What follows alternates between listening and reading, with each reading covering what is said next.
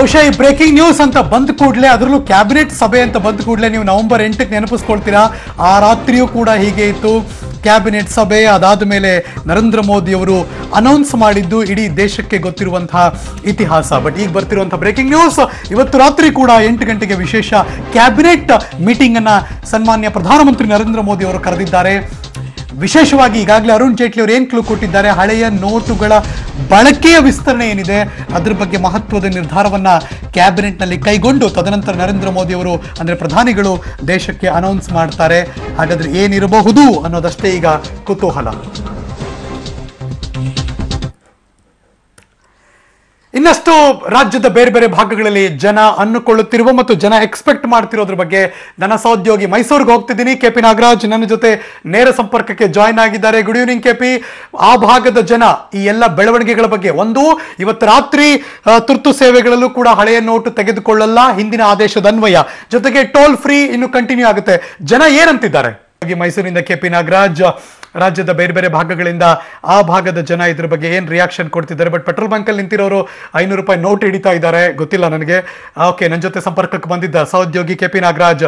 K P ನನ್ನ ಧ್ವನಿ ಕೇಳಿಸಿದೆ ಅಂತ ಭಾವಿಸ್ತೇನೆ. ಇವತ್ತು ಹಳೆಯ ನೋಟುಗಳನ್ನ ಚಲಾವಣೆ ಮಾಡೋದಕ್ಕೆ ಅಧಿಕೃತವಾಗಿ ಲಾಸ್ಟ್ ಡೇ ಇವತ್ತು ಮಧ್ಯರಾತ್ರಿ ಹನ್ನೆರಡು ಗಂಟೆ. ನಾಳೆಯಿಂದ ಜನ, ಇದು ಕಂಟಿನ್ಯೂ ಆಗಲಿ ಇನ್ನೊಂದು ಸ್ವಲ್ಪ ದಿನ, ನಮ್ಗೆ ತೊಂದರೆ ಆಗ್ತಿದೆ ಅಂತಾರ? ಬಟ್ ಏನಂತಾರೆ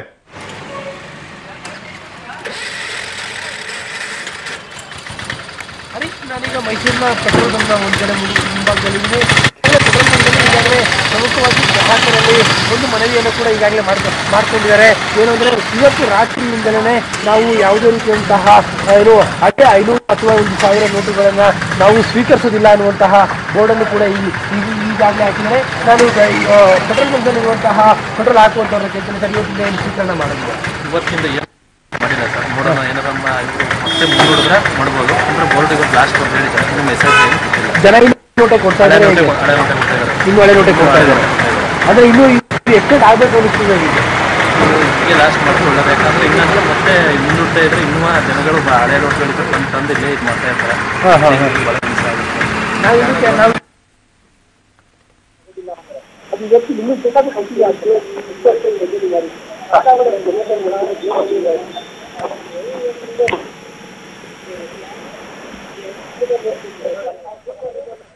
yes thank you so much K P ನಿಮ್ಮ ಎಲ್ಲ ಮಾಹಿತಿಗಾಗಿ ಅಲ್ಲಿ ಕೂಡ ಹೇಳ್ತಿರೋ ಪ್ರಕಾರ ಇವತ್ತು ನಮಗೆ ಈಗ ಸದ್ಯಕ್ಕೆ ಬಂದಿರೋ ಮಾಹಿತಿ ಪ್ರಕಾರ ಅಥವಾ ನಮ್ಮ ಓನರ್ ಹೇಳಿರೋ ಪ್ರಕಾರ ಇವತ್ತು ರಾತ್ರಿ ಹನ್ನೆರಡು ಗಂಟೆಗೆ ಸರ್ ಅದಾದಮೇಲೆ ನಾವು ತಗೊಳ್ಳಲ್ಲ ಇದುವರೆಗೆ ತೊಗೋತಾ ಇದ್ವಿ.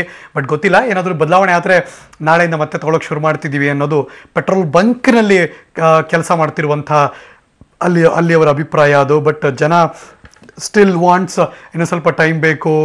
ನಮಗಿದು ಹಳೆಯ ನೋಟುಗಳನ್ನು ಚಲಾವಣೆ ಮಾಡೋಕೆ ಅಂತಿದ್ದಾರೆ. ಬಿಕಾಸ್ ಎ ಟಿ ಎಮ್ಗಳಲ್ಲಿ ಹೊಸ ನೋಟ್ ಲಭ್ಯತೆ ಇಲ್ಲ. ಈಗ ಇದನ್ನು ಬ್ಯಾಂಕ್ ಹಾಕ್ಬಿಟ್ರೆ, ಒಂದು ಎ ಟಿ ಎಮ್ಗಳಲ್ಲಿ ಸಿಗಲ್ಲ. ಹಳೆ ನೋಟು ಬ್ಯಾಂಕು ಹಾಕ್ಬಿಟ್ರೆ, ನಾವು ಓಡಾಡೋದಾಗ್ಲಿ ತುರ್ತು ಸೇವೆಗಳ ಲಭ್ಯತೆ ಇರೋಲ್ಲ ಅಂತ ಹೇಳ್ತಿದ್ದಾರೆ. ಗುಲ್ಬರ್ಗಾಕ್ಕೆ ಹೋಗ್ತಿದ್ದೀನಿ. ನನ್ನ ಸಹೋದ್ಯೋಗಿ ಪ್ರವೀಣ್ ರೆಡ್ಡಿ ನೇರ ಸಂಪರ್ಕಕ್ಕೆ ಬಂದಿದ್ದಾರೆ. ಈ ಎಲ್ಲ ಬೆಳವಣಿಗೆಗಳ ಬಗ್ಗೆ ಗುಲ್ಬರ್ಗದ ಜನ ಏನ್ ಹೇಳ್ತಾರೆ ಪ್ರವೀಣ್? ಹೌದು ಹರೀಶ್, ಐದ್ನೂರು ಹಾಗೂ ಸಾವಿರ ರೂಪಾಯಿ ನೋಟ್ ಇವತ್ತಿಗೆ ಒಂದು ಒಂದು ಏನು ಚಲಾವಣೆ ಆಗ್ತಾ ಇತ್ತು ಈ ಒಂದು ಪೆಟ್ರೋಲ್ ಬಂಕ್ ಮತ್ತು ಆಸ್ಪತ್ರೆಗಳಲ್ಲಿ ಅದು ಕೂಡ ಇವತ್ತು ಮಧ್ಯರಾತ್ರಿ ಹನ್ನೆರಡು ಗಂಟೆಯಿಂದ ಅದು ಕೂಡ ಬಂದ್ ಆಗ್ತಾ ಇದೆ. ಸೊ ಇದ್ರ ಬಗ್ಗೆ ಜನ ಏನಂತಾರೆ ಕೇಳೋಣ ಬನ್ನಿ. ಸರ್ ಇವತ್ತು ಐದ್ನೂರು ಮತ್ತು ಸಾವಿರ ರೂಪಾಯಿ ಐದು ನವೆಂಬರ್ ಇಪ್ಪತ್ನಾಲ್ಕರವರೆಗೂ ಚಲಾವಣೆ ಆಗ್ತಾ ಇತ್ತು. ಸೊ ಇದೀಗ ಇವತ್ ರಾತ್ರಿಯಿಂದ ಅದು ಕೂಡ ರದ್ದಾಗ್ತಾ ಇದೆ. ಸೊ ಇದ್ರ ಬಗ್ಗೆ ಎಕ್ಸ್ಟೆಂಡ್ ಆಗ್ಬೇಕಾಗಿತ್ತೆ? ಇನ್ನ ಎಕ್ಸ್ಟೆನ್ಷನ್ ಆಗೇಬೇಕ್ರಿ. ಅದಲ್ಲದೆ ನೂರು ರೂಪಾಯಿ ನೂರ್ ನೂರು ರೂಪಾಯಿ ಚಿಲ್ಲರ್ ಸಹಿತ ಕೊಡ್ಬೇಕು ಇಲ್ಲಿ. ಅದು ಎಕ್ಸ್ಟೆನ್ಷನ್ ಆಗಬೇಕು. ಅಂದ್ರೆ ಈಗ ಇಷ್ಟು ಅವಧಿ ಇನ್ನೂ ವಿಸ್ತರಣೆ ಆಗ್ಬೇಕು. ವಿಸ್ತರಣೆ ಆಗ್ಬೇಕು. ಅವ್ರಿನ್ನು ಅವಧಿನೂ ಇನ್ನು ವಿಸ್ತರಣೆ ಆಗಬೇಕು. ನೂರ್ ನೂರು ರೂಪಾಯಿ ಚಿಲ್ಲರ್ ಏನದ ಡೀಸೆಲ್ ಇವ್ರು ಇವ್ರಿಗೆ ಕೊಡಬೇಕು.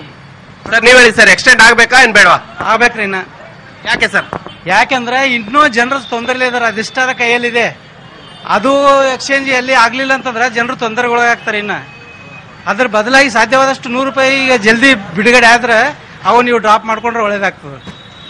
ಹರೀಶ್ ಕಲಬುರಗಿ ಜನ ಹೇಳೋ ಪ್ರಕಾರ ಒಟ್ಟಾರೆ ಐದ್ನೂರು ಹಾಗೂ ಸಾವಿರ ರೂಪಾಯಿಯನ್ನು ಇವತ್ತು ಮಧ್ಯರಾತ್ರಿ ಹನ್ನೆರಡು ಗಂಟೆಗೆ ಏನು ಚಲಾವಣೆ ರದ್ದಾಗ್ತಾ ಇದೆ? ಇನ್ನೂ ಒಂದು ಹತ್ತು ದಿನಗಳ ಕಾಲ ಒಂದು ಹದಿನೈದು ದಿನಗಳ ಕಾಲ ಎಕ್ಸ್ಟೆಂಡ್ ಆಗಬೇಕು ಅನ್ನೋದು ಇಲ್ಲಿನ ಜನರ ಒಂದು ಪ್ರಮುಖ ಆಗ್ರಹ ಸೋ ಮಚ್ ಕಲಬುರಗಿಯಿಂದ ಪ್ರವೀಣ್ ರೆಡ್ಡಿ ನಮ್ಮ ಜೊತೆ ನೇರ ಸಂಪರ್ಕಕ್ಕೆ ಬಂದಿದ್ದೀನಿ. ತುಮಕೂರಿಗೆ ಹೋಗ್ತಿದ್ದೀನಿ. ನನ್ನ ಸಹೋದ್ಯೋಗಿ ಅನಂತರಾಮಯ್ಯ ನಮ್ಮ ಜೊತೆ. ಕೆಲವೇ ಕ್ಷಣದಲ್ಲಿ ಅದು ಅಲ್ಲಿಂದಲೂ ಕೂಡ ಮಾಹಿತಿಯನ್ನು ಕೊಡ್ತಾರೆ ನನಗೆ. ಮೀನ್ವೈಲ್ ಹಲವಾರು ಬೆಳವಣಿಗೆಗಳನ್ನು ನೋಡ್ತಿದ್ದೀವಿ ನಾವು, ಜನ ಕ್ಯೂನಲ್ಲಿ ನಿಲ್ಲೋದು, ಅವರೆಲ್ಲರೂ ಕೂಡ ಅನ್ಕೋತಿರೋದು ಹಳೆ ನೋಟ್ ಓಕೆ ಬಟ್ ಹೊಸ ನೋಟ್ ಕೈಗೆ ಸಿಕ್ಕರೆ ಮಾತ್ರ ಈ ಹಳೆ ನೋಟನ್ನು ತೆಗಿಬಹುದು ಅನ್ನೋ ಮಾತುಗಳನ್ನು ಹೇಳ್ತಿದ್ದಾರೆ.